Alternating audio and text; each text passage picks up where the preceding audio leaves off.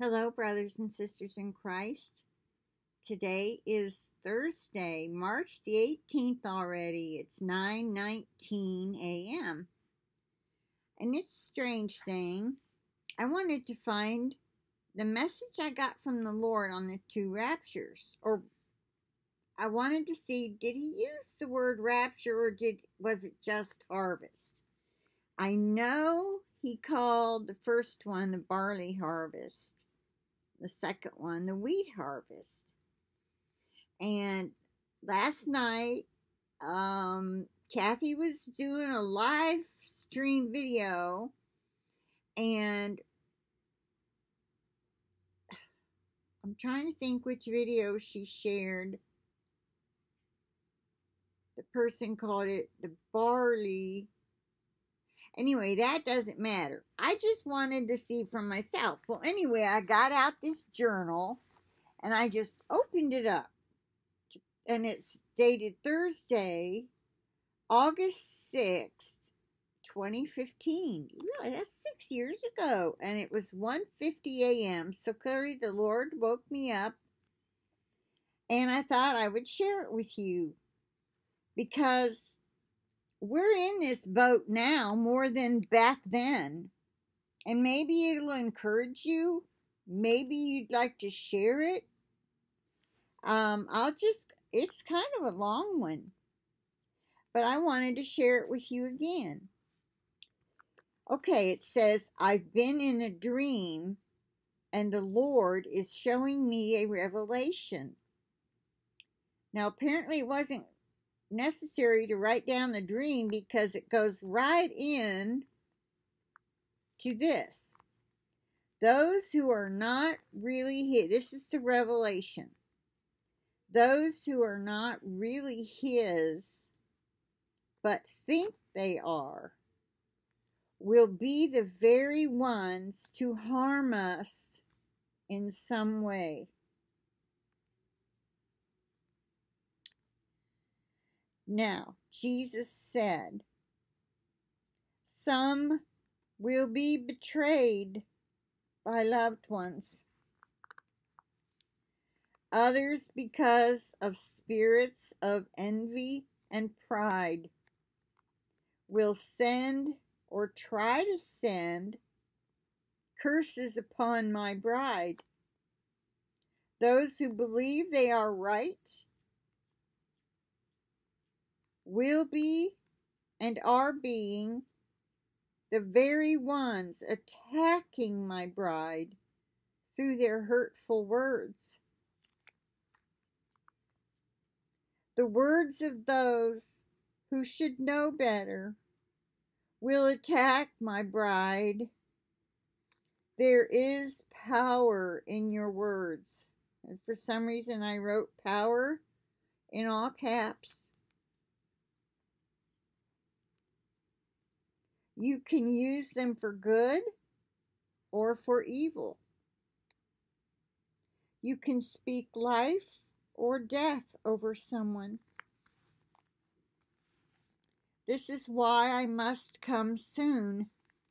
My Philadelphia church has but a little strength because it is being zapped, taken by words of mockery, strife, denial, and even hatred. So this is like one of Susan Davis's messages, which are older than this, where he's saying, I must come soon or I'm coming soon. Well, to him, it is soon. You think about it. 2,000 years he's waited. So while we're going, Lord, I thought you were coming soon. We're still here. So try to understand his timing is not the same as ours, okay? All right. Um okay, let's see. It, it is being zapped. Our powers being our strength is being zapped, taken by words of mockery, strife, denial, and even hatred. Remember when I said to hate your brother is the same as murder? I meant it. The rest of my church must quickly realize what I am saying is true. They must repent of their choice to ignore my warnings. They must repent of disbelief. Pause. Now look what's happening because when messages like this went out years ago, to us, this was years ago. How many heard these kind of messages and just ignored them? And now look what they've done. I understand, my wayward children, that you have a very strong delusion pulling on you. It is from the enemy. You are following a man not me. Oh, the devil has deceived so many of my good children into believing lies that sound so right to you. This is because you lack the complete infilling of my Holy Spirit. Pause. I beg of you. If you don't have the complete infilling, Please be on your knees asking Jesus. I've been on mine and I can do it. For a little while,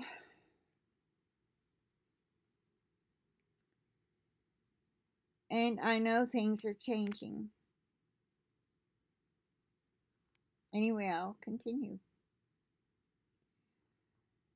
Let's see, lack complete and filling of the Holy Spirit. Yes, you do lack this. No amount of arguing can change this fact.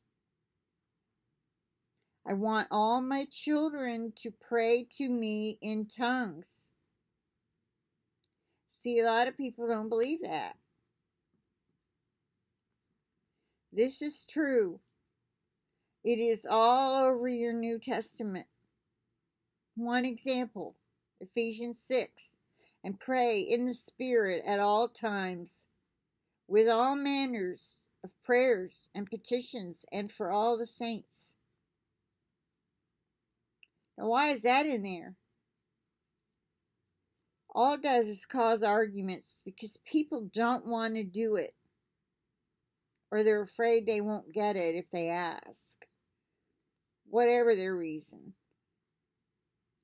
How can you not see it? It's just like the once saved, always saved group. There's so many scriptures in there that talk about doing works, good works, whatever you do for the least of these, that you do unto me, and so on and so on and so on. And yet they want to claim once you've accepted Jesus as your Savior, you're saved. You're going to heaven no matter what no matter what. What are they going to take thinking that's true?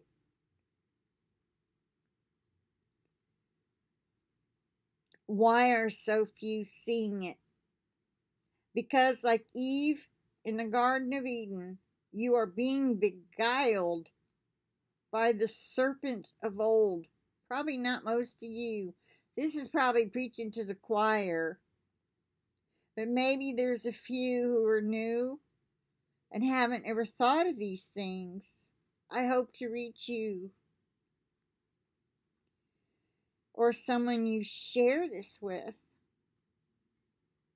He has you captivated by men on earth who have who are corrupting my word and twisting the scriptures to suit your own agenda. How else, my children, how else can there be so many doctrines? 30,000 doctrines. 30,000 denominations are in America. Just in America. Who took that poll? I don't know. Probably Karma or CARM, Christian Apologetics Research Ministry. They might have come up with that. I don't know. I read it somewhere online. I don't remember. How else my children, hmm, strange, went black. How else could there be any, could there be so many doctrines? They cannot all be right. They can't. That would make me a double minded man.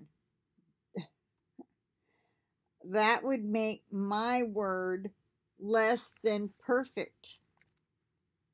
Have you ever thought of that?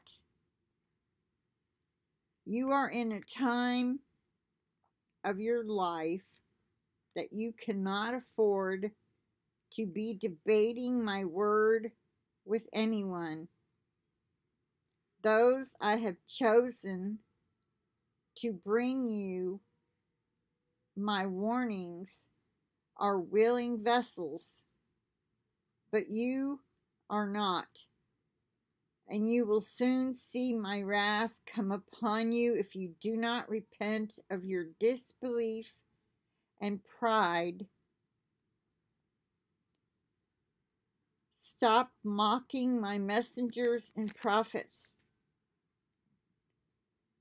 This is truly for special certain people, okay? You check your own heart. You'll know if he's talking to you or not. These are my watchmen on the wall, chosen to serve me for your benefit. Now choose you this day whom you will serve, me or Satan. I, the Lord your God, have spoken. It is I, your Savior, King Jesus, Yahushua HaMashiach and the time was 2:05 a.m. So that's the end of that message. And I felt led to share it because I opened right up to it and I was like, oh, you know, I was reading it. I was like, wow. You know, maybe people need to hear this again. Thank you, Jesus.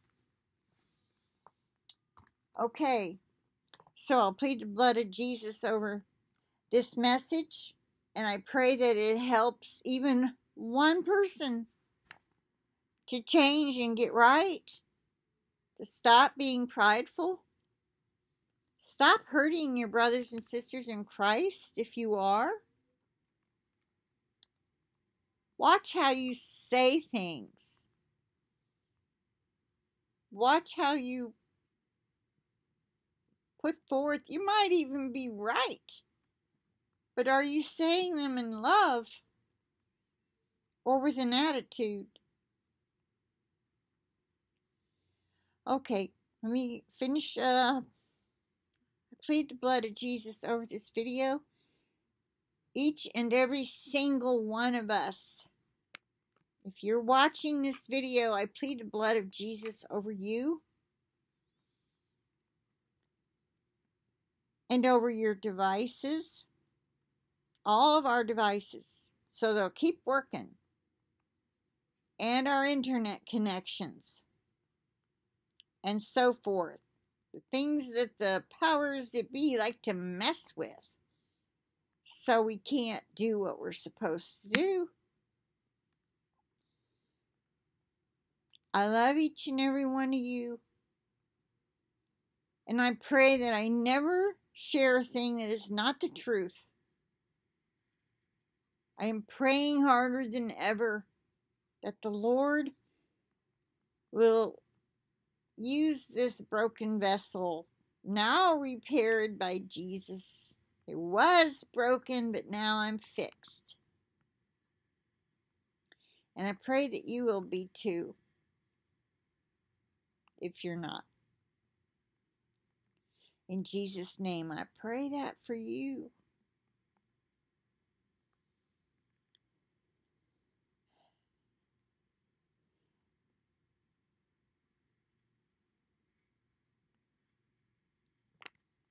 I'll end it there. I'll talk to you later. Soon.